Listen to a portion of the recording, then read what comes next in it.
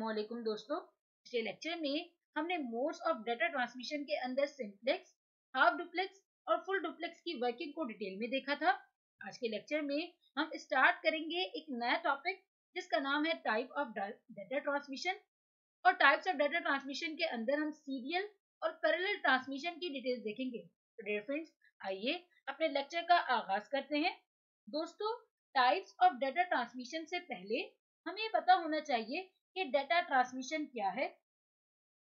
It is the process of transferring data between two और more devices यानी ऐसा तरीका जिसके ज़रिए डाटा को एक या फिर एक से ज़्यादा डिवाइसेस को भेजा जाता है।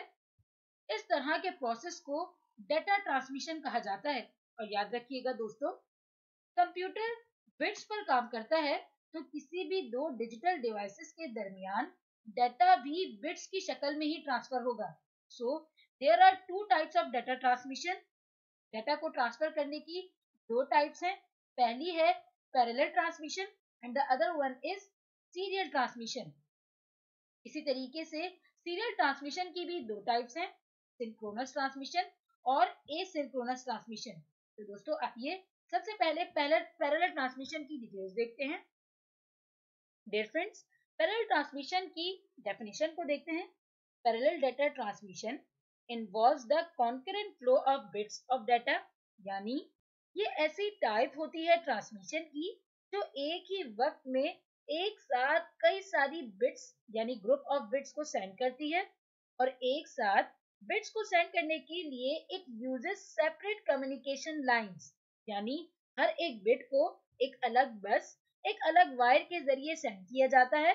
फॉर एग्ज़ाम्पल ये सेंडर है और ये रिसीवर और ये सेंडर 8 बिट के डाटा को रिसीवर को सेंड कर रहा है और अगर ये पैरेलल ट्रांसमिशन हो रही है तो ये 8 बिट्स एक साथ रिसीवर के पास पहुंचेंगी और हर एक बिट के लिए एक अलग बस या फिर वायर यूज़ होगी। 8 बिट डाटा है तो 8 ही वायर्स यूज़ होंगी। फॉर एग्ज़ाम्पल ये वायर वन है, ये वायर 2 और इसी तरीके से ये वायर 8 है। और हर एक वायर पर एक बिट मौजूद होगी। इस तरह ये 8 वायर्स कनेक्ट होंगी रिसीवर से। तो रिसीवर को इस तरह एक वक्त में 8 बिट्स का डाटा एक साथ रिसीव होगा। फ्रेंड्स इसका अगला पॉइंट देखिए। This pattern resembles the flow of automobile traffic on a multi lane highway यानी parallel transmission multi lane highway की तरह होती है। जैसे एक रोड पर इस तरह की लेन्स मौजूद होती हैं। डियर फ्रेंड्स ये याद रखिएगा कि इस तरह की लाइनों को लेन्स कहा जाता है और जितनी लेन्स एक रोड पर बनी होंगी, उतनी ही कार्स वहाँ से ट्रैवल कर सकती हैं। ऐसे ही पैरेलल ट्रांसमिशन में जितनी लाइंस मौजूद होंगी, जितनी वायर्स मौजूद होंगी, उतना ही डाटा एक जगह से दूसरी जगह ट्रांसफ़र हो सकता है।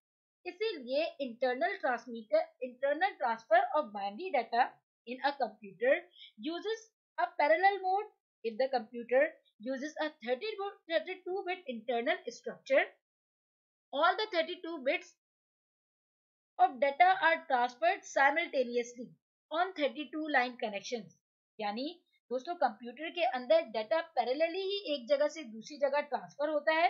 फॉर एग्जांपल ये सीपीयू है। और ये मेमोरी तो मेमोरी से सीपीयू के पास जब डाटा जाएगा तो पैरेलली ही जाएगा।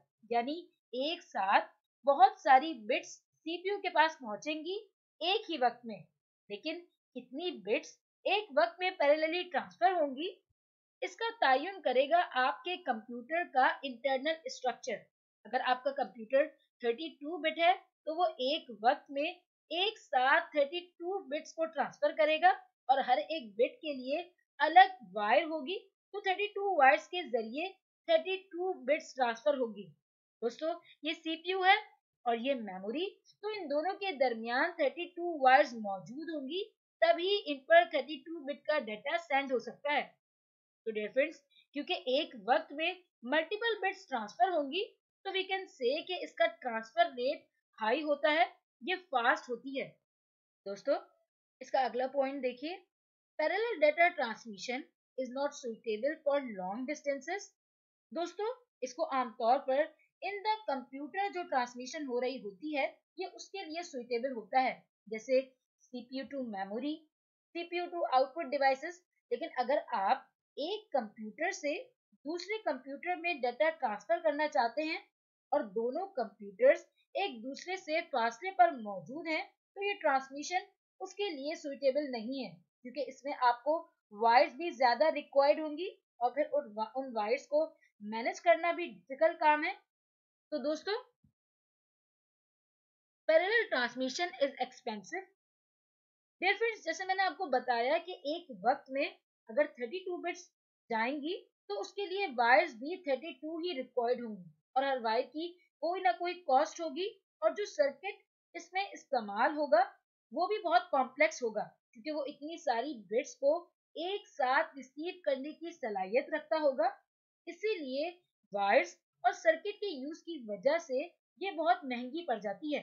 कि बेहतरीन एग्जांपल है printer as printer are connected to their parallel port of the computer therefore computer transfer data to printer using parallel transmission board दोस्तों प्रिंटर और कंप्यूटर के दरमियान पैरेलल ट्रांसमिशन होती है, जिसमें कंप्यूटर सेंडर होता है और प्रिंटर, रिसीवर और इन दोनों के दरमियान एक पैरेलल पोर्ट होती है।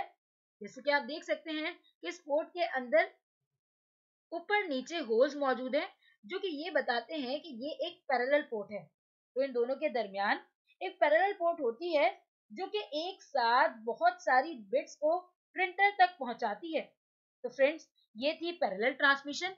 अगली टाइप है सीरियल ट्रांसमिशन डियर फ्रेंड्स ये आमतौर पर सबसे ज़्यादा यूज़ होने वाली ट्रांसमिशन टाइप है। पैरेलल ट्रांसमिशन में एक वक्त में एक साथ मल्टीपल बिट्स को एक एंड से दूसरे एंड तक पहुँचाया जाता था, जबकि सीरियल ट्रांसमिशन में एक वक्त में सिर्फ़ एक ही बिट को एक एंड से दूसरे एंड तक पहुँचाया जा सकता है। Means it transfers one bit at a time for example ये एट बिट्स हैं.